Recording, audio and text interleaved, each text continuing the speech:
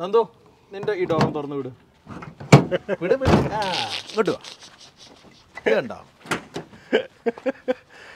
ഓ പിന്നെ ബാക്കിൽ ഒരു ചെറിയ സാധനം വന്നതിനാണോ വാട്ട് എവർ ഇറ്റ്സ് ഉപയോഗം നടന്ന പൊരിക്ക. സ്റ്റേ ട്യൂൺഡ്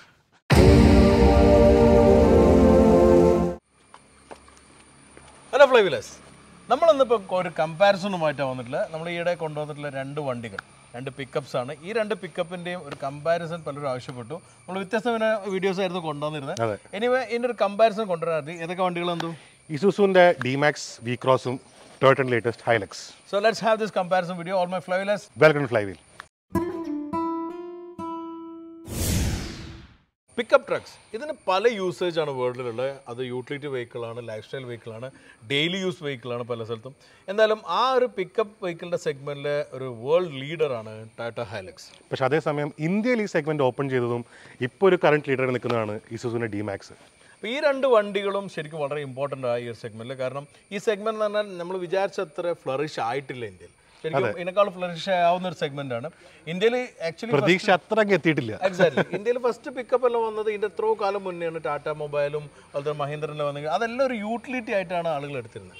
എന്നാൽ നേരത്തെ നന്ദു പറഞ്ഞു കുറച്ചും കൂടെ ഒരു ഈ ലൈഫ് സ്റ്റൈൽ സെഗ്മെന്റ് പറയാൻ ജനോണും ഉണ്ടായിരുന്നു. സിനോൺ ഉണ്ടായിരുന്നു പക്ഷെ അത് അങ്ങോട്ട് പിക്ക് ആയിരുന്നു അപ്പം ശരിക്കും നന്ദു പറഞ്ഞ ഒരു ഈ ഡിമാക്സ് വന്നോട് കൂടിയിട്ടാണ് അതിന്റെ ലൈഫ് സ്റ്റൈൽ എലമെന്റ് കൊണ്ടുവന്നത്. അപ്പോൾ അത് ശരിക്കും നല്ല രീതിയിൽ ഫ്ലറിഷ് ആയി വന്നു. എന്റെ ഫേസ് ലിഫ്റ്റെല്ലാം വന്ന് ഈ ഒരു മോഡൽ ഒരു എത്തി നിൽക്കുമ്പോൾ ടൊയോട്ട ഹൈലക്സ് ഇൻട്രൊഡ്യൂസ് ചെയ്തു. എന്നാൽ നമ്മൾ കേരളീയർക്ക് കുറച്ചൊരു ഭാഗ്യക്കുറവുണ്ടായിരുന്നു. ടൊയോട്ട ആദ്യം ഹൈലക്സ് എടുക്കാൻ പലർക്കും പറ്റില്ല. ഒരുപാട് ആൾക്കാർ ആവശ്യപ്പെട്ടിരുന്നു. എന്നാൽ ചില ആർ ടി ഒ റൂളും റെഗുലേഷൻ പ്രകാരം രജിസ്റ്റർ ചെയ്യാനുള്ള ബുദ്ധിമുട്ടുണ്ട്. അത് ആദ്യം ടാക്സി ആയിട്ട് മാത്രം രജിസ്റ്റർ ചെയ്യാൻ പറ്റുള്ളൂ പിന്നീട് അത് റൂൾ എക്സംഷനിലാണ് ഇപ്പം നമുക്ക് രജിസ്റ്റർ ചെയ്ത് കിട്ടുന്നത്. അതുകൊണ്ട് തന്നെ ഒരു ഫസ്റ്റ് കം അഡ്വാന്റേജ് ശരിക്കും ടൊയോട്ടയ്ക്ക് കുറച്ച് മിസ്സായ വരെ എനിക്ക് തോന്നിയിട്ടില്ല. അവിടെ കുറെ സ്കോർ ചെയ്ത് പോയിട്ടുണ്ട് ഇസുസു Yes. അതുകൊണ്ട് തന്നെ ഇത് ലേറ്റസ്റ്റ് ലേറ്റ് ആയിട്ട് വന്ന ലേറ്റസ്റ്റ് ആയി വരാന്ന് പറഞ്ഞ പോലെ തന്നെയാണ് ഫസ്റ്റ് വന്നിട്ടില്ലെങ്കിലും ഇനിയും ഓപ്പൺ അപ്പ് ചെയ്യാവുന്ന ഒരു സെഗ്മെന്റ് ആണ് ആക്ച്വലി പിക്കപ്പ് നമ്മൾ അതിന്റെ ഒരു ലൈഫ് സ്റ്റൈൽ എലമെന്റും ക്യാമ്പിംഗ് എലമെന്റും നമ്മൾ കാണിച്ചു. രണ്ട് പേരും നമ്മൾ രണ്ട് പേര് രണ്ട് വണ്ടികളും ഒരുപാട് എക്സ്റ്റൻസീവ് ആയിട്ട് ഉപയോഗിച്ചിട്ടുണ്ട് ഇത്. അധികം ഉപയോഗിച്ചിട്ടില്ലെങ്കിലും അന്നാലും അത്യാവശ്യം ഓഫ് റോഡും എല്ലാം ചെയ്തിട്ടുണ്ട് നിങ്ങൾ കണ്ടിട്ടുണ്ടോ നമ്മൾ ഫസ്റ്റ് ഡ്രൈവും ഡെറാഡൂണിന് കൊണ്ടുവന്നു പക്ക ഓഫ് റോഡിംഗ് ആയിരുന്നു. അത് കഴിഞ്ഞിട്ട് മന്ദു സക്ലേഷ്പൂർ പോയിട്ട് നമ്മളൊരു ഓഫ് റോഡ് എക്സ്പീരിയൻസ് ഉണ്ടായിരുന്നു കസ്റ്റമർ ഡ്രൈവിന്റെ ഇടയിൽ. അപ്പോൾ ഫോർച്യൂണറും ഹൈലക്സും ആയിരുന്നു അവിടെ ഉണ്ടായിരുന്നത്. അതും. നമ്മൾ അത്യാവശ്യം ഇതിന്റെ കേപ്പബിലിറ്റീസ് കംപ്ലീറ്റ് എക്സ്പ്ലോർ ചെയ്യുന്ന പോലെ തന്നെ ചെയ്തത്. ഇതിന്റെ പുറമെ നമ്മൾ ഞാനാണെങ്കിലും ഹൈവേയിൽ ഒരുപാട് യൂസ് ചെയ്തു. ഇപ്പോൾ നമ്മൾ ഇപ്പോൾ ഇങ്ങോട്ട് വരുമ്പോഴും ഉപയോഗിച്ചു.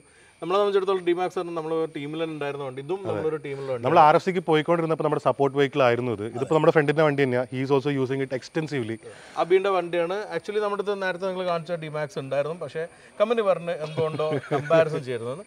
കമ്പാരിസൺ നമ്മൾ കമ്പനീന്റെ വണ്ടി ചെയ്- ചെയ്യുന്നില്ല. നമ്മൾ ഫ്രണ്ടിന് വണ്ടി ചെയ്യാൻ ചെയ്യാമെന്ന് കരുതി എന്തായാലും ടയോട്ട സപ്പോർട്ട് ചെയ്തിട്ടുണ്ട്. നമ്മൾ ഏതായാലും നമ്മൾ ഫ്രണ്ടിന് ഡിമാക്സ് എടുത്തിട്ടാണ് ഈ കമ്പാരിസൺ കൊണ്ടുവരുന്നത്. നമുക്ക് ആദ്യം ലുക്സിലുള്ള ഒരു കമ്പാരിസൺ നോക്കാം.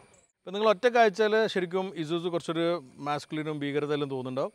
പക്ഷേ അത് തുടങ്ങുന്നത് അങ്ങനെയല്ല. തുടങ്ങുന്നത് എങ്ങനെയാണെന്നുള്ള ഈ ഫോട്ടോയിൽ കാണിച്ചു തരാം അപ്പോൾ ഐലക്സ് ഇങ്ങനെയാണ് തുടങ്ങുന്നത്. ഐലക്സിന്റെ ഏറ്റവും ബേസിക് രൂപത്തിലപ്പോൾ ഉള്ളത്. ഇപ്പം ഈ ഒരു ഐലക്സിന്റെ ഒരു രൂപം എന്ന് പറഞ്ഞാൽ ഞാൻ നേരത്തെ പറഞ്ഞത് ഇപ്പോൾ ടോട്ടിന്റെ പുതിയ ഒരു ഡിസൈൻ ലാംഗ്വേജ് ആണ്. ഇത് പല വണ്ടിയിലും നമ്മൾ കണ്ടിട്ടുണ്ട്. എന്തായാലും നമുക്ക് കണക്ട് ചെയ്യാവുന്ന പെട്ടെന്ന് ഫോർച്യൂണറാണ് ഫോർച്യൂണറിൽ കണക്ട് ചെയ്യുന്ന രീതിയിലുള്ള എലമെൻസ് എല്ലാം കൊണ്ടുവന്നത് പക്ഷേ ഈ ഒരു വണ്ടിയിൽ ഒന്ന് രണ്ട് എക്സ്ട്രാ ഫിറ്റിംഗ്സ് ഉണ്ട്. അതിലൊന്ന് എനിക്ക് ഏറ്റവും ഇഷ്ടപ്പെട്ടൊരു ഫീച്ചറാണ് ഈ ഫ്രണ്ടിൽ വരുന്ന ഈ ഒരു സൈഡ് വ്യൂ മിറർ ഇത് പഴയകാല ജെ ഡി എം കാസിൽ വളരെ ഒരു സ്റ്റൈലിഷായി നിന്ന് ടൊയോട്ട ക്രൗൺ ഇങ്ങനത്തെ പല വണ്ടിയിലും ഞാനിപ്പോഴും കാണാറുണ്ട്. അപ്പോൾ ഇത് വളരെ യൂസ്ഫുള്ളുമാണ് ഇവരിന്ന് നമുക്കൊരു വ്യൂ കിട്ടാൻ ചാൻസ് ഉണ്ട്. കാരണം വലിയ വണ്ടിയാണ് പിന്നെ ഈ ഒരു വീൽ ആച്ചിന്റെ മേലെ വരുന്ന ക്ലാഡിങ് പിന്നെ റിയറിലേക്ക് വരുമ്പം ഇവിടെ വന്നിരിക്കുന്ന ഈ ഒരു ബുൾബാർ ഇതെല്ലാം ആക്ച്വലി അതിൽ വന്നിരിക്കുന്ന എക്സ്ട്രാ എലമെന്റ്സ് പക്ഷേ ഈ ഹൈലക്സും നമുക്ക് മാറ്റിയെടുത്താൽ വേറെ രീതിയിലും അത് ഡി മാക്സ് പോലെ ആക്കാൻ പറ്റും. അതെങ്ങനെയാണെന്നുള്ളത് നോക്കിക്കോളൂ. ഇപ്പോൾ നിങ്ങൾ കണ്ടല്ലോ ഹൈലസും നമുക്ക് ഇങ്ങനെ ചെയ്യാൻ പറ്റും. അപ്പോൾ എൻ നമ്പർ ഓഫ് ഓപ്ഷൻസ് ഉണ്ട്. ഈ ഒരു വണ്ടിയിലാണെങ്കിൽ നമ്മൾ ഫ്രണ്ടിന്റെ തന്നെ വണ്ടിയാണ്. പുള്ളി അതുകൊണ്ട് തന്നെ ഒരു ബീഡ് ലോക്കുള്ള വീൽസ് ഇട്ടുണ്ട് അതിന് നല്ല പറ്റുന്ന ടയർ ഇട്ടുണ്ട് ഇവിടെ കുറച്ച് ഡീറ്റെയിലിംഗ് വന്നിട്ടുണ്ട്. സാധാരണ നമ്മൾ ഹൈഡ്രോ ഡിപ്പിങ്ങിൽ വരാറില്ല. അധികം ആൾക്കാർ ഞാൻ ചെയ്ത് കാണുന്നത് കാർബൺ ഫൈബർ ഫിനിഷ് ആണെങ്കിൽ ഇത് സിറാമിക് കൊടുത്തിട്ടുണ്ട്. പിന്നെ ഫ്രണ്ടിൽ വന്നിരിക്കുന്ന ഇത്രയും എലമെന്റ്സ് എല്ലാം കൂടെ ചേരുമ്പോൾ ഇവിടെയും ആ ഒരു ഡിപ്പിംഗ് എല്ലാം വന്ന് കാണാൻ പറ്റുന്നുണ്ട് മൊത്തത്തിൽ ഒരു ഭീകരതയും മാസ്കുലിനും തോന്നുന്ന രൂപത്തിൽ വന്നിട്ടുണ്ട്. ഞാൻ പറയുന്ന ഒരു കാര്യം എന്ന് പറഞ്ഞാൽ ഇതെല്ലാം നമ്മളെ ചോയ്സും ടേസ്റ്റും അനുസരിച്ച് നമുക്ക് ഈ രണ്ട് വണ്ടികൾ ചെയ്യാൻ പറ്റുന്ന കാര്യങ്ങളാണ്. നല്ല കളർ സെലക്ട് ചെയ്യുക അതിന്റെ ശേഷം ഇങ്ങനത്തെ രീതിയിലുള്ള ഫിറ്റ്നസ് എല്ലാം കൊടുക്കാൻ പറ്റും. ഒറ്റ റിസ്ക് നമ്മുടെ നാട്ടിൽ എടുക്കേണ്ടത് എം വി ഡിയോ അല്ലെങ്കിൽ ആർ ടി ഒ റെഗുലേറ്റഡ് ആയിട്ടുള്ള റിസ്ക്കുകളാണ് അതെടുക്കാൻ തയ്യാറാണ് നിങ്ങൾക്ക് ഏത് തരത്തിലുള്ള മോഡിഫിക്കേഷൻ ചെയ്യാൻ പറ്റും. പക്ഷേ മോഡിഫിക്കേഷൻ ചെയ്യുമ്പോൾ ഞാൻ പറഞ്ഞ എക്സ്ട്രീമിലേക്ക് പോകാതിരിക്കുക എക്സ്ട്രീം ചെയ്തിട്ട് അതിന്റെ ഡൈനാമിക്സ് നഷ്ടപ്പെട്ട് സേഫ് അല്ലാതാവുക എന്നുള്ള സംഗതികൾ ഒഴിവാക്കിയിട്ട് ഒരു സെൻസിബിളായിട്ട് നല്ല മോഡിഫിക്കേഷൻ ചെയ്ത് കഴിഞ്ഞാൽ നിങ്ങൾക്ക് അത് എൻജോയ് ചെയ്യാനും പറ്റും കാണുമ്പം ഭംഗിയുണ്ടാവും വേറെ വലിയ പ്രശ്നങ്ങളും ഉണ്ടാവില്ല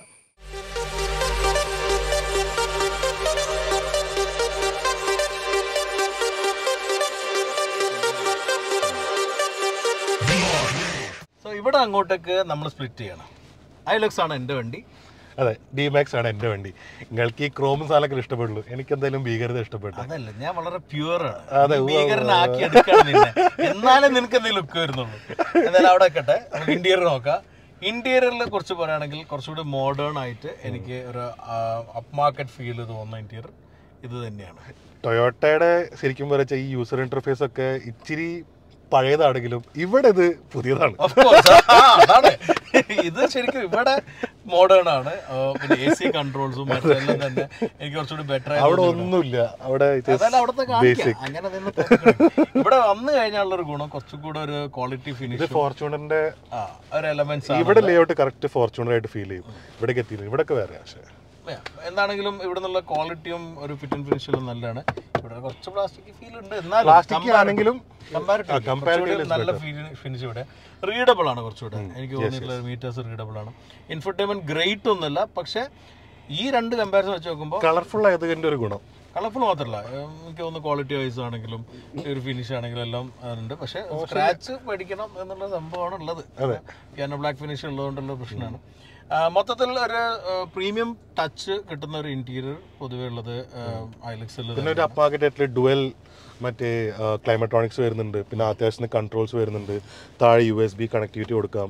പിന്നെ പവർ ഔട്ട്ലെറ്റ് രണ്ടെണ്ണം വരുന്നുണ്ട് ഇവിടെ. പിന്നെ ഈ ഞാൻ നേരത്തെ നമ്മുടെ എപ്പിസോഡിൽ കണ്ടില്ല. അതിനൊരു ഒരു കാര്യം പറഞ്ഞു? ഈ രണ്ട് പവർ ഔട്ട്ലെറ്റ് വരുമ്പോൾ നമ്മൾ വിചാരിക്കും എന്തുകൊണ്ട് ഓഫ് റോഡിലാണ് നമുക്ക് വിഞ്ച് വിറ്റേണ്ടി വരും വേറെ എന്തെങ്കിലും എക്യുപ്മെന്റ് ഉണ്ട്. ഇതെല്ലാം നമ്മൾ ഈ പവർ ഔട്ട്ലെറ്റിലായിരിക്കും കണക്ട് ടയറിന്റെ ഇത് കൂടുതൽ ഉണ്ടാവുന്നത് എപ്പോഴും നല്ലതാണ്. നമ്മൾ ശരിക്കും എക്സ്ട്രാ പവർ ഔട്ട്പുട്ട് വെക്കാറുണ്ട് ചില കേസിൽ ഇവിടെ രണ്ടെണ്ണം സ്റ്റാൻഡേർഡ് രണ്ടും വരുന്നുണ്ട്.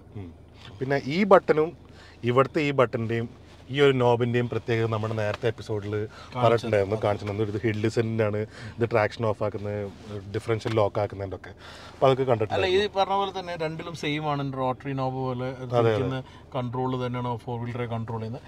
പിന്നെ മെക്കാനിക്കലി അതും യൂസ് എല്ലാം സെയിം ആയിട്ട് തന്നെ വരുന്നത്. മെയിൻ ഡിഫറൻസ് ഉള്ള ഡിസൈനിലെ ഡിഫറൻസും പിന്നെ കുറച്ചൊരു ക്വാളിറ്റി ഫിനിഷും എനിക്ക് തോന്നുന്നു ഐലക്സിലെ ബെറ്റർ മോർ എക്സ്പെൻസീവ് ഇതിലൊക്കെ വേണ്ടേ? ഉണ്ടാവുമല്ലോ പൈസ കൊടുക്കണ്ടേ? നല്ല കിട്ടണമെങ്കിൽ. ഈ ബട്ടണൊക്കെ ചെയ്യുന്ന തന്നെ ആവട്ടെ. അഞ്ച് ലക്ഷം രൂപ കൊടുക്കുന്നത് സീറ്റും എനിക്ക് തോന്നുന്നു ഇത് കുറച്ചുകൂടി ഒരു എഫക്റ്റീവ് ആണ്. കൂളിംഗ് ഉണ്ടെങ്കിൽ നല്ലതായിരുന്നു. ഇല്ല. ഒന്നില്ല ഒന്നില്ല ഒന്നുമില്ല ഒന്നുമില്ല. അങ്ങനത്തെ അങ്ങനത്തെ ഒന്നുമില്ല ഇവിടെ. അത് വേണമായിരുന്നു പോട്ടെ ഒരു സൺറൂഫ് ഒക്കെ ആവായിരുന്നു. സൺറൂഫും കൂടെ വേണമല്ലേ? അല്ലെങ്കിൽ ഇത് ഓഫ് റോഡിൽ ചെയ്യുമ്പോൾ സൺറൂഫ് പണിയാണ്. ഏതായാലും ഗ്ലോ മറ്റേ രണ്ടിലുണ്ട് ആ. അത്യാവശ്യം കബി സ്പേസും കാര്യങ്ങളൊക്കെ ഉണ്ട്. This a very well appointed interior തന്നെ പറയാം. യെസ് നീറ്റ്ലി ചെയ്തിട്ടുള്ള സാധനം. പക്ഷെ എനിക്ക് തോന്നുന്നു കുറച്ചുകൂടി റൂമിനെസ് റിയർ സീറ്റിൽ എനിക്ക് ഫീൽ ചെയ്യുന്നത് ആ അതെ. കുറച്ചും കൂടെ ഫീൽ ചെയ്യുന്നുണ്ട്. മനസ്സിലായിട്ടില്ല. ഇല്ല, ഇല്ല, കിട്ടിയിട്ടുണ്ടറിയില്ല കുറച്ചുകൂടി എനിക്ക് ഒന്ന് ഒരു അപ്രൈറ്റ് ആണ് രണ്ടും. പക്ഷെ എനിക്ക് ഒന്നും കൂടെ സീറ്റിന്റെ ആണോ കൗഷന്റെ ആണോ എന്താ അറിയില്ല. ഒരു കംഫർട്ട് ഫീൽ അതെ ഹൈലൈറ്റ് ഉണ്ട്. ശരിയാണ്.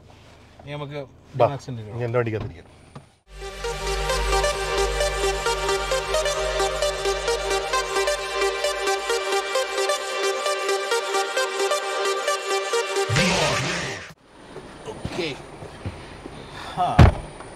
ഇവിടെ കേറി കഴിഞ്ഞാൽ കുറച്ചുകൂടെ refinement sound first of all നമ്മൾ നേരത്തെ ഐലക്സ് ഓൺ ആയിരുന്നു ഇപ്പോ ഇസൂസ് ഓൺ ആയിരുന്നു പക്ഷേ അതിനകത്ത് തീരെ ഒച്ച വരുന്നില്ല. ഇതിനകത്ത് ഒച്ച വരുന്നുണ്ട്. വൈബ്രേഷൻ വരുന്നുണ്ട്. സ്റ്റിയറിംഗിലേക്ക് കിടക്കട്ടെ ഗിയറിലേക്ക് കിടക്കാം. ഒരു വൈബ്രേഷൻ നമുക്ക് ഫീൽ ചെയ്യും കയ്യിൽ പക്ഷെ അത് ഓട്ടോമാറ്റിക്കലി ഇല്ല കേട്ടോ. ഇത് നമ്മൾ മാനുവൽ അതെ അതെ അതെ. പിന്നെ ഇവിടെ വന്ന ഓൾഡ് സ്കൂൾ ചാം ആണോ ഓൾഡ് സ്കൂൾ ആയിട്ട് തോന്നുന്നു? നീ പറ. ഓൾഡ് സ്കൂൾ ചാം ആണോ ഓൾഡ് സ്കൂൾ ആണോ?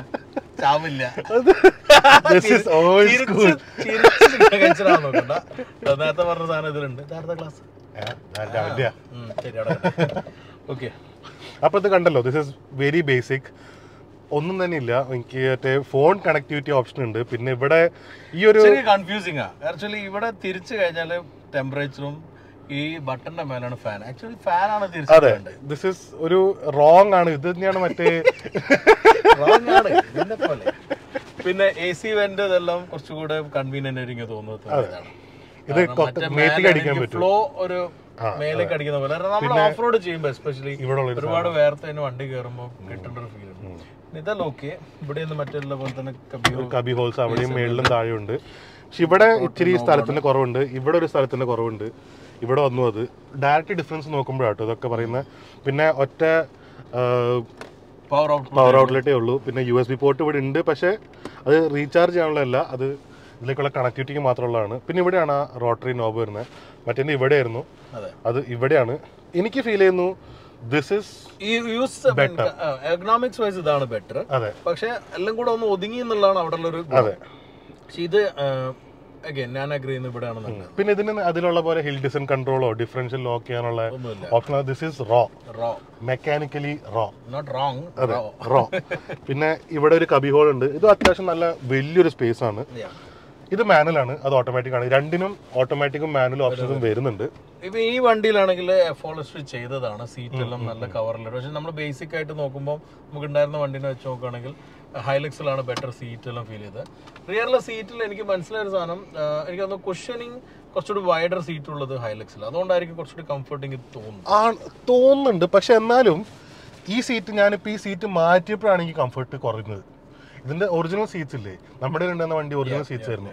അത് ഇത്രയും കുഴപ്പമുണ്ടായിരുന്നില്ല. ഇതിനൊരു ചൂടൊക്കെ എടുക്കും. അത് മെറ്റീരിയൽ മെറ്റീരിയൽ ചൂടാണ് ഇപ്പൊ ഈ വണ്ടി അതിന് രണ്ടിനും ഇപ്പോൾ സീറ്റ് കൂളിംഗ് ഇല്ലാത്ത ഒരു ഡ്രോബാക്ക് ആണുള്ളത്. ഉം, പിന്നെ അതിനാണ് സ്റ്റിയറിംഗ് എനിക്ക് കുറച്ചും ഇഷ്ടപ്പെട്ടു ഇഷ്ടപ്പെട്ടത്. ഇത് സ്റ്റിയറിംഗ് ഇച്ചിരി ഹെവിയാണ് ഹെവിയാണ് ആണ്. പിന്നെ പിന്നെ ടയർ മാറ്റിയതിന്റെ ഒരു ഹെവിനെസ് കൂടുതലുണ്ട്. അതുണ്ട്. ഹോൾഡിങ്ങും ഇതിന്റെ ഇടയ്ക്കുള്ള സെൻട്രൽ ഹബ്ബ് വലുതായതുകൊണ്ട് ടു ബിഗ് പിടിക്കാൻ ഫുൾ ടേണൽ എടുക്കുമ്പോൾ അടുത്ത പിടിക്കാനുള്ള സുഖം ആ സ്റ്റിയറിംഗ് ഫുൾ ടേൺ എടുത്ത് നമ്മൾ അടുത്ത സ്റ്റിയറിംഗ് പിടിക്കുമ്പോഴേക്ക് ഇതിൽ വലിയൊരു പോർഷനാണ് ഇതിന്റെ സെൻട്രൽ ഹബ്ബ് എല്ലാം വരുന്നത്. അത് നമുക്കൊരു കൈ കൊടുക്കാൻ അത് ഇങ്ങനെ പിടിക്കേണ്ട ഒരു അവസ്ഥ വരും. പക്ഷെ ഇങ്ങനെ പിടിക്കരുത്. പിടിക്കരുത്. അത് ഇങ്ങനെയും തിരിക്കരുത്. അതെ പിന്നെ ഇങ്ങനെ ഒന്നും തിരിക്കാൻ നിൽക്കരുത്. ഇങ്ങനെ പിടിക്കണം ഓക്കെ സോ ഇതാണ് ബേസിക്കലി ഇന്റീരിയറിലുള്ള ഡിഫറൻസ് ക്വാളിറ്റി ആണെങ്കിലും എനിക്ക് കുറച്ചുകൂടി പ്രീമിയം തോന്നുന്നത് സ്വാഭാവികമായിട്ടും ഹൈലക്സ് ആണ്. ഫുള്ളി മെറ്റീരിയൽ മോശമല്ല പക്ഷേ അല്ല quality in sense like feel. Build quality is same exactly same ആണ്. ഇവിടെ ഫീൽ അതിന്റെ ഭേദം. കുറച്ചൊരു ഒരു ചിപ്പ് ഫീൽ അതിലുള്ള. എനിവേ ഇവിടെ ഇരുന്ന് സംസാരിക്കണ്ടല്ലോ ഇനി നമുക്ക് ഇതിന്റെ എഞ്ചിൻ സ്പെക്ക് നോക്കാം. ജയിക്കാൻ പോവാം. ഇനി എഞ്ചിനാണ് ഓബ്വിയസ്ലി ഇതൊരു ഇത് bigger engine two point eight litre two point eight litre ആണ് പ്രൂവൺ എഞ്ചിനാണ് ടു ഹൺഡ്രഡ് ഫോർ കുറെ കാലമായിട്ട് നമ്മുടെ നാട്ടിൽ പ്രൂവ് ചെയ്തുകൊണ്ടിരിക്കുന്ന എഞ്ചിനാണ് two hundred and four H P four twenty N M മാനുവലും five hundred M automatic രണ്ട് കൂടുതലാണ്. ഞാൻ പവർഫുൾ ആണ്. പക്ഷേ ഇതും ഒരു ടർബോ ഡീസൽ തന്നെ. അതെ. രണ്ട് ഗിയർ ബോക്സ് ഓപ്ഷനുണ്ട് രണ്ടും സിക്സ് സ്പീഡാണ് മാനുവലും ടോക്ക് കൺവേർട്ടർ ഓട്ടോമാറ്റിക് ഇതിന് ഫോർ വീലർ ഉള്ള ഓപ്ഷൻ മാത്രമേ വരുന്നുള്ളൂ. നമുക്ക് കോംപ്രമൈസ് ഇനി എന്റെ വണ്ടി എന്റെ വണ്ടി ഒരു ടു ലിറ്റർ ഡീസലാണിത് ഇതിന് ഏകദേശം വൺ ഹൺഡ്രഡ് സിക്സ്റ്റി ഹോസ് പവറും പിന്നെ ഫോർ ഹൺഡ്രഡ് ട്വന്റി അല്ല three hundred sixty N M torque generate ചെയ്യുന്നത്. It's a two litre turbo diesel ഇതും സെയിം എഞ്ചിൻ തന്നെയാണ്. ഇതിൽ പക്ഷേ ഫോർ ബൈ ടു ഓപ്ഷൻ കൂടെ വരുന്നുണ്ട്. അപ്പോൾ കുറച്ചും കൂടെ എക്സ്പെൻസ് കുറച്ചിട്ട് നമുക്ക് എടുക്കാൻ പറ്റും.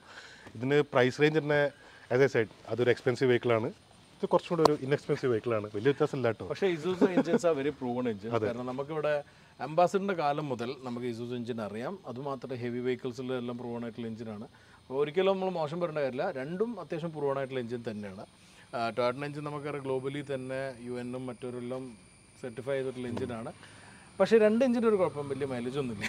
ഹെവി വെഹിക്കിൾ പിന്നെ എനിക്ക് തോന്നുന്നു ഈ എഞ്ചിൻ കുറച്ചും കൂടെ ഒരു റഫ് ക്യാരക്ടറുള്ള എഞ്ചിനാണ് റിഫൈൻഡ് എഞ്ചിൻ റിഫൈൻഡ് ആണ്. ഇതൊരു ന്യൂ ജനറേഷൻ എഞ്ചിന്റെ ഫീലും എല്ലാം ഉണ്ട്. ഇതിലാണെങ്കിൽ കുറച്ച് ഇപ്പോഴും ആ ഒരു റഫ്നെസ് നേരത്തെ ഇന്ത്യയിൽ നിന്ന് കണ്ടില്ല. ആ ഫീൽ തന്നെയാണ് ഉള്ളത്. എങ്കിലും പേർപ്പസിന് രണ്ടും പേർപ്പസ് സെർവ് ചെയ്യുന്നുണ്ടെന്നുള്ളതാണ് നമ്മൾ it is very very capable off road നമ്മൾ ആവശ്യത്തിൽ കൂടുതൽ ഓഫ് റോഡ് ചെയ്തിട്ടുണ്ട്. റോഡിംഗ് എന്ന് പറയുമ്പോൾ നമ്മുടെ എഞ്ചിനും ഗിയർ ബോക്സിന് കൂടെ തന്നെ വേറെ സാധനം കൂടെ കിടക്കുന്നുണ്ട്. ട്രാൻസ്ഫർ കേസ് അതെ. അതുകൂടെ വരുമ്പോൾ വരുമ്പം engine gear box ratio power ratio എല്ലാം തന്നെ ശരിക്കും കേപ്പബിലിറ്റിക്ക് ഒരു തരത്തിലും ഒരു തരത്തിലും ശരിക്കും ഒരു ഇമ്പാക്റ്റ് ഉണ്ടാക്കിയില്ല രണ്ടും കേപ്പബിൾ ആണ്. ഇത് കുറച്ചുകൂടി ഒരു എഫേർട്ട്ലെസ് ആവുന്നുണ്ട് പവറിലോണ്ട് എന്നുള്ളൊരു ഗുണമാണ്. പക്ഷേ ഒരു ഓഫ് റോഡ് ഘട്ടത്തിൽ എത്തുമ്പം both of them do amazing off roading പിന്നെ ഓഫ് റോഡ് ഘട്ടത്തിൽ നോക്കുമ്പോൾ തന്നെ ഇതിന് കുറച്ച് വീതി കൂടുതലാണ്. അതിന് കുറച്ച് വീതി കുറവാണ്. പക്ഷെ അതിന് കുറച്ച് നീട്ടം കൂടുതലാണ്. അതിന് കുറച്ച് നീട്ടം കുറവാണ്. ഞാൻ അവിടെ കുറച്ച് ഇതിലുള്ള മേജർ ഡിഫറൻസ് ഉള്ളത് ഇത് മാനുവലാണ് ആണ്. നമുക്ക് ഓടിക്കാനുള്ള ഹൈലൈറ്റ്സ് ഓട്ടോമാറ്റിക് ആണ്. പക്ഷേ ഇത് എനിക്ക് മാനുവൽ ഗിയർ ബോക്സ് ഇഷ്ടമാണ്. പക്ഷെ ഇത് വെച്ച് റഫ് ആട്ടോ. അത്. നമുക്ക് മറ്റേ ആ ഒരു ആംഗിളിൽ ഓടിക്കേണ്ടതായിട്ടൊക്കെ ഉണ്ട്. സി അതിലൊരു വ്യത്യാസം എനിക്ക് തോന്നി. ഇപ്പൊ നമ്മൾ കൂടുതൽ ഉപയോഗിക്കുന്ന സിറ്റിയിലാണെങ്കിൽ ഈ മാനുവലിൽ സജസ്റ്റ് ചെയ്യാൻ പറ്റില്ല. കുറച്ച് ഹെവിയാണ് ഹാർഡ് ഹെവി ക്ലച്ച് ആണ്. അപ്പൊ അതുകൊണ്ട് തന്നെ ഇത് ലോങ് പിന്നെ പ്ലാന്റേഷൻ ഓഫ് റോഡിൽ ചെയ്യുന്ന ആളുകൾക്ക് അല്ലെങ്കിൽ എന്റെ അഭിപ്രായത്തിൽ ഓട്ടോമാറ്റിക് നല്ല ഗിയർ ബോക്സ് ആണ്. നമ്മുടെ വണ്ടി ഓടിച്ചു അപ്പൊ ഓട്ടോമാറ്റിക് ആണ്. സിറ്റി കൂടുതലുള്ള ആൾക്ക് നമ്മൾ സജസ്റ്റ് ചെയ്യുന്നത്. ഇതിപ്പോ വരുന്ന ഒരു ടൂ ലിറ്റർ എഞ്ചിനാണ് two litre one sixty horse പവറും three hundred sixty N M ടോർക്കും പക്ഷെ നമ്മൾ നേരത്തെ പറഞ്ഞ പോലെ ഈ ടോർക്ക് ഫിഗേഴ്സും പവർ ഫിഗേഴ്സും ഒക്കെ ഈ ഓൺ റോഡ് ഒരു ക്യാരക്ടറിൽ മാത്രമേ ഉള്ളൂ. ഓഫ് റോഡ് തെളിക്കുന്ന ട്രാൻസ്ഫർ കേസ് ആണ്. മൊത്തം അപ്പൊ പക്ഷെ ഓൺ റോഡിലാണെങ്കിലും നമുക്ക് എനിക്ക് തോന്നിയുള്ള കാര്യം കമ്പാരിറ്റീവ്ലി കുറച്ചൊരു പവർ കുറവാണെങ്കിൽ നമുക്കൊരു ഒരു സ്ലഗിഷ്നെസ് ഒന്നും ഭയങ്കരമായിട്ട് ഫീൽ ചെയ്യുന്നൊന്നുമില്ല റീസെന്റ് പവർ നമ്മൾ അത്യാവശ്യം അന്ന് ആർ എഫ് സിക്ക് വേണ്ടിയിട്ട് ആ ഒരു ടെറൈനിൽ നമ്മൾ ആ കൂടെ തന്നെ പോയിട്ടുണ്ട്. അതെ. എം ടി ടയർ എന്നല്ലായിരുന്നു നമ്മുടെ വണ്ടി നമ്മുടെ എയ്റ്റി ടയർ ആയിരുന്നു. എന്നിട്ട് നമ്മൾ അത്യാവശ്യം ഈ വലിയ വണ്ടി തന്നെ എല്ലായിടത്തും കൊണ്ടുപോയിട്ടുണ്ട്. വെച്ച് നോക്കുകയാണെങ്കിൽ നമുക്ക് ഒരു കാര്യം പ്രശ്നമുള്ളത് ടേണിംഗ് റേഡിയസ് ആണ്. വളരെ കുറവാണ്. കുറവാണ്. പിന്നെ രണ്ടാമത് പൊതുവേ ഉള്ളു ജനറിക്ക് പറയുകയാണെങ്കിൽ ജനറിക് ആയിട്ട് സൈസാണ്. രണ്ടും വലിയ വണ്ടികളാണ്. നമ്മൾ അവെയർ ആയിരിക്കണം.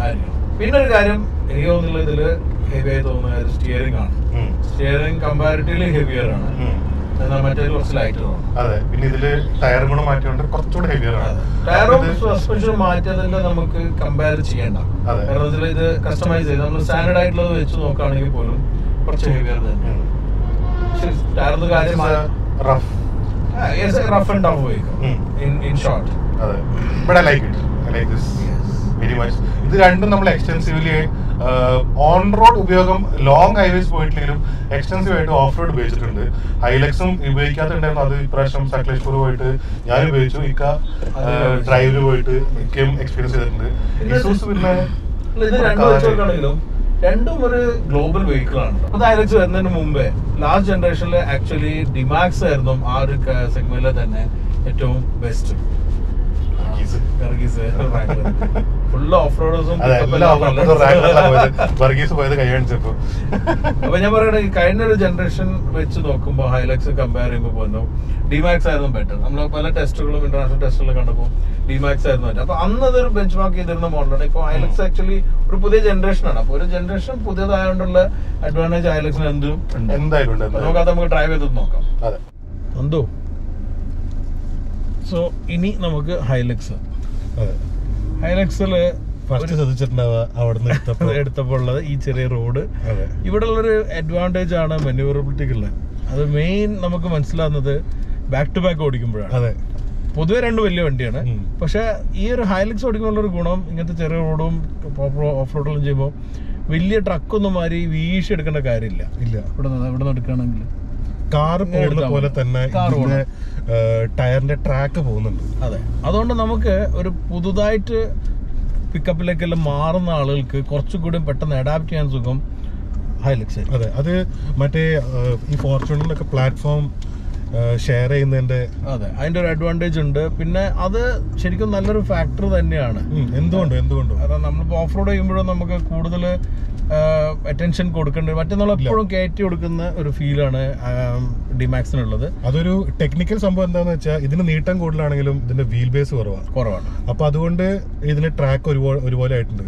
ഇസുസുവിന് നീട്ടം കൂടുതലാണ് കുറവാണെങ്കിലും വീൽ ബേസ് കൂടുതലാണ്. ലെങ്ത് ഓവറോൾ വരുന്നുണ്ടെങ്കിലും വീൽ ബേസ് കൂടുതലാണ്. അതിന്റെ ഒരു ഡ്രോബാക്ക് ഇതിനുള്ള ഇതിന്റെ റിയർ ഓവർ ഹാങ് കുറച്ച് കൂടും ഫ്രണ്ടിലേക്കും കുറച്ചുണ്ട് അതെ. അപ്പൊ അത് പക്ഷെ ഇതിന്റെ ഡിസൈനിൽ അത് ഒരു മേക്കപ്പ് ചെയ്തിട്ടുണ്ട്. അപ്രോച്ച് ആംഗിളും ഡിപ്പാച്ച് ആംഗിളും വലിയ പ്രശ്നമില്ല. പക്ഷെ ഡിമാക്സിൽ അത് കുറച്ചുകൂടെ സോർട്ടഡ് ആണെന്ന് വേണം പറയാം. പ്രത്യേകിച്ച് നമ്മൾ ഓടിക്കുന്നപ്പോൾ ലിഫ്റ്റ് ചെയ്ത വണ്ടിയാണ്. ലിഫ്റ്റ് എല്ലാം ചെയ്ത് കഴിഞ്ഞാൽ വലിയ വിഷയമാവുന്ന കാര്യമില്ല കേട്ടോ അതൊന്നും. നോർമൽ കണ്ടീഷനിലുള്ള പറയാണ്. അപ്പോൾ ഒരു സിറ്റി യൂസ് കൂടുതലുള്ള ഒരാൾക്ക് എനിക്ക് തോന്നിയിട്ടുള്ളത് കമ്പാരിറ്റീവ് ഹൈലക്സ് ആ ബെറ്റർ മൂന്നാൽ ആസ്പെക്ട് ഉണ്ട്. ഒന്നിപ്പം പറഞ്ഞ മെനൂറബിലിറ്റി രണ്ട് ഈ ഒരു പവർ ഉള്ളത് കൊണ്ട് ഇത്ര ഹെവി വണ്ടി ആയതുകൊണ്ട് തന്നെ പെട്ടെന്ന് ട്രാഫിക്കിൽ നിന്നെല്ലാം എടുത്തു പോകാൻ ഒരു സ്ലഗിഷ്നെസ് കുറവ് ഇതിന് ആണ് ഫീൽ ചെയ്യുന്നത്. പിന്നെ റിഫൈൻഡ് ആണ്. ഈ സ്റ്റിയറിംഗ് നേരത്തെ പറഞ്ഞത് നമ്മുടെ സിറ്റിയിലാണ് അത് കൂടുതൽ നമ്മൾ ഫീൽ ചെയ്യുന്നത്. ഒന്ന് കുറച്ചുകൂടി ലൈറ്റർ ആണ്. രണ്ട് സ്റ്റിയറിംഗിന്റെ ഡിസൈൻ ബെറ്റർ ആണ്. ഫീൽ ബെറ്റർ ആണ്. പിന്നെ ടേണിംഗ് റേഡിയസും എനിക്ക് കുറച്ചുകൂടി ബെറ്റർ ആയ മാതിരി തോന്നുന്നതിൽ. എസ്പെഷ്യലി പാർക്കിൽ ചെയ്യുമ്പോൾ അതെന്താ അറിയോ? അതെനിക്ക് ഞാൻ പറയാത്ത അതിന്റെ ടയറും വീലൊക്കെ മാറ്റിയതുകൊണ്ട് കംപ്ലീറ്റ്ലി മാറിയിട്ടുണ്ട്. എക്സാക്ട്ലി അപ്പൊ അതുകൊണ്ട് അത് നമ്മൾ അങ്ങനെ പറയുന്നില്ല. പക്ഷെ both of them are huge vehicle വലിയ പ്രശ്നം നീളം കൂടുതലുള്ളത് പാർക്ക് ചെയ്യുമ്പോഴാണ് പെട്ട് പോരണം. അതുകൊണ്ട് എന്താ പറ്റിയെന്ന് വെച്ചാൽ സാധാരണ നമ്മുടെ അടുത്ത് ലോങ് ടൈമർ വന്നാൽ നമ്മൾ ആർത്തിയാണ് ആർക്ക് കിട്ടണം മാക്സിമം യൂട്ടിലൈസ് ചെയ്യലുണ്ട്. ഇപ്പൊ ഡിമാക്സ് മിനിമം ഒരു പത്ത് പോയി വരും. ഡിമാക്സ് വന്നിട്ട് എപ്പോഴാണ് ഒരു അത്യാവശ്യ ഘട്ടമൊന്നും ഇല്ല റിലാക്സ് ചെയ്ത് പോകുന്നു സൺഡേ ഈ സമയത്ത് എടുക്കാൻ തോന്നുന്നുള്ളൂ. അത് മൊത്തം ഈ ഒരു സെഗ്മെന്റ് പ്രശ്നം ഓട്ടോമാറ്റിക് വണ്ടിയാണ് ഒക്കെയാണ്. പക്ഷേ സൈസിന്റെയാണ് അത്. മെയിൻ വേറെ പ്രശ്നം കൂടെ ഉണ്ട്. മൈലേജ് പക്ഷെ ഈ വീക്കെൻഡ് നമ്മൾ ഒരു പ്രോപ്പർ ഓഫ് റോഡ് പോകാൻ പ്ലാൻ ചെയ്തിട്ടുണ്ടായിരുന്നു. പക്ഷെ അത് നടന്നില്ല.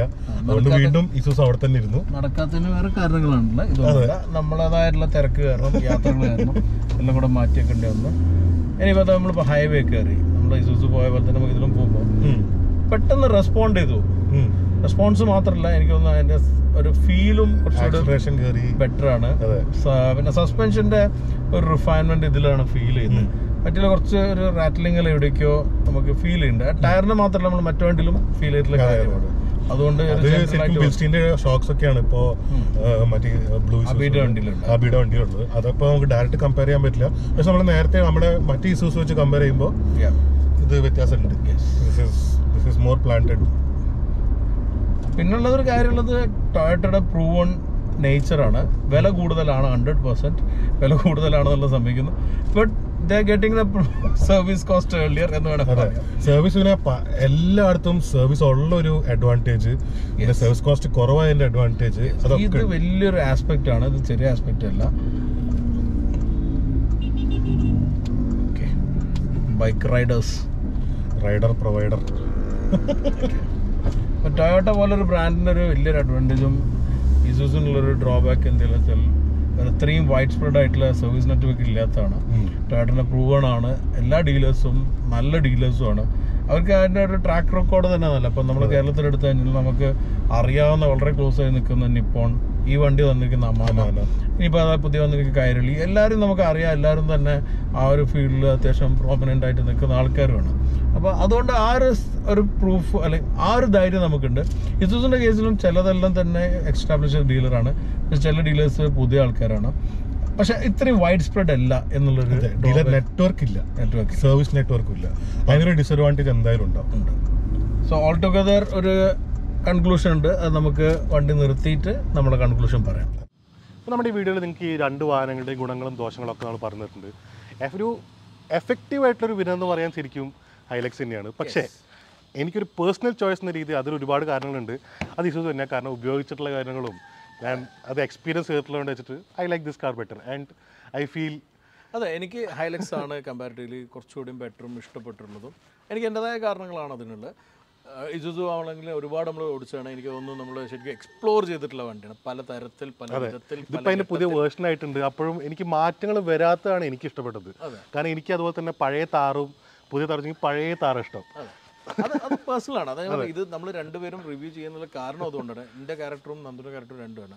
അപ്പോൾ എനിക്ക് ഇപ്പോൾ പൊതുവേ പുതിയതും ടെക്നോളജിയും അതുപോലെ സ്റ്റൈലിങ്ങും എല്ലാം തന്നെ പുതുതായി വരുന്ന ഇഷ്ടപ്പെടുന്നില്ല അതേ സെയിം ടൈം ചിലപ്പോൾ പഴയതിനോടുള്ള ഇഷ്ടം പോകാറുമില്ല അങ്ങനെ എല്ലാം വെച്ച് നോക്കുമ്പോൾ കുറച്ചുകൂടെ നമ്മൾ എനിക്ക് തോന്നുന്നു ഈ ഒരു ഇപ്പോഴത്തെ ഒരു മാർക്കറ്റ് വെച്ചിട്ട് ഒരു അഡ്വാന്റേജ് ഉള്ളൊരു വണ്ടി എന്തായാലും ഹൈലക്സ് ആണ്.